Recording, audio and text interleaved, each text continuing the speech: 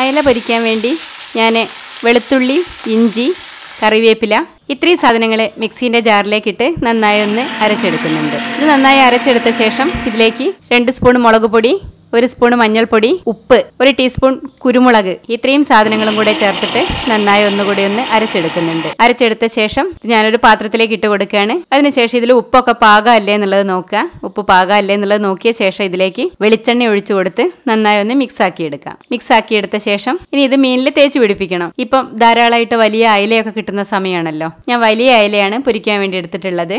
അയലയൊക്കെ വെട്ടി കഴുകി വൃത്തിയാക്കി എടുത്തു വെച്ചിട്ടുണ്ട്. ഇനി അയല നല്ല ആഴത്തിൽ വരഞ്ഞു കൊടുക്കണം. അതിന്റെ മുള്ളിന്റെ അടുത്ത് എത്തുന്നവരെ അതിന്റെ മാംസം മുറിയുന്ന തരത്തിൽ വേണം വരഞ്ഞു കൊടുക്കാൻ. ഇങ്ങനെ അടുപ്പിച്ച് ചെരിച്ച് ചെരിച്ച് വരഞ്ഞു കൊടുക്കുക. ഇങ്ങനെ വരഞ്ഞു കൊടുത്ത ശേഷം മീനിന്റെ ഉള്ളിലേക്ക് നന്നായിട്ട് ഈ മസാല തേച്ച് കൊടുക്കുക. ഉള്ളിലൊക്കെ നന്നായിട്ട് മസാല തേച്ച് കൊടുത്ത ശേഷം ബാക്കിയുള്ള മുളകിൽ ഞാൻ കുറച്ച് വെള്ളവും കൂടെ ചേർത്തിട്ട് ഒന്ന് നനച്ചെടുക്കുന്നുണ്ട്. അതിനുശേഷം അത് മീനിന്റെ പുറമ ഭാഗത്തൊക്കെ നന്നായിട്ട് തേച്ച് പിടിപ്പിക്കുന്നു. ഇനി ഇത് നമുക്കൊരു അരമണിക്കൂർ സമയം മാറ്റി വെക്കാവുന്നതാണ്. ആ മീനിന്റെ ഉള്ളിലൊക്കെ മുളക് നന്നായി പിടിച്ചു വരട്ടെ. അരമണിക്കൂർ സമയമായിട്ടുണ്ട്. ഇനി ഒരു ചട്ടി സ്റ്റൗവിൽ വെച്ച് ചൂടാകുന്ന സമയത്ത് വെളിച്ചെണ്ണയാണ് ഒഴിച്ചു കൊടുക്കുന്നത്. വെളിച്ചെണ്ണ ഒഴിച്ചു കൊടുത്ത ശേഷം മീൻ നിരത്തി വെച്ച് കൊടുക്കാവുന്നതാണ്.